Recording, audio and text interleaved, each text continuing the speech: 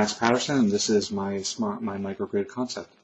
All right, in a contemporary system, you have maybe some solar on a microgrid. You have a solar panels and some wind, maybe a diesel or biodiesel generator, and then your residents. What I'm suggesting is to take it to a different level. I'm suggesting that maybe you still have these contributors, but instead the solar is on each house. But furthermore, I want uh, 15 to 30 percent additional solar to what the house needs. So these become producing agents and not just drops. So what might that mean? Well, in a contemporary city, you've got a baseline where it needs to run water or, or lights or maybe mass transit. Then whenever the, the day gets warmer or colder, what have you, the houses require more energy. And then furthermore, industry comes in. Under my model, the houses, when they start becoming producers, that need line drops.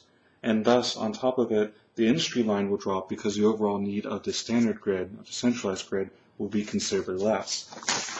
So what might that look like? Well, in a standard design, as you can see, you have a centralized power plant. But, and these are the veins and arteries that go out and make our world work.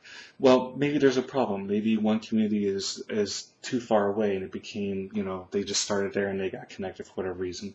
There's maybe the density is too high and that's putting greater strain on the system. Or maybe there's just, it's just old and there's de- degeneration of all the technology.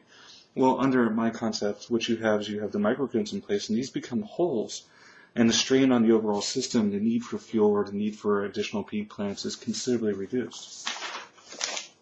So how might you make it happen? Well, that's the other other part of my concept, which is the roof stewardship collaboration model. In this model, the utility, the city, and the homeowner all work together. The utility and city are chipping in because they're going to get something considerably back. The homeowner is willing to surrender rights and, and maintenance and, and overall control of the roof because now it's become a power producing platform. They pay considerably less than for electricity, not zero because we don't want tragedy of the commons that would poison the model.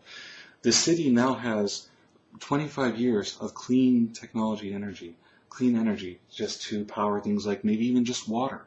Pumping water is a huge expense for cities. The utilities get out of problems like um, people trying to bring in tariffs because now it's not a money issue. They take on a maintenance role which could be very profitable opposed to building power plants and overseeing those type of uh, related issues. So some simple math so I don't run out of time. If we assume we had a photovoltaic overproduction level of 30% with 30% line loss and we're assuming that 8 homes per node, 52 nodes to form a cluster, and we'll even diminish it, we'll just say 300 sun hours where I'm at is 350.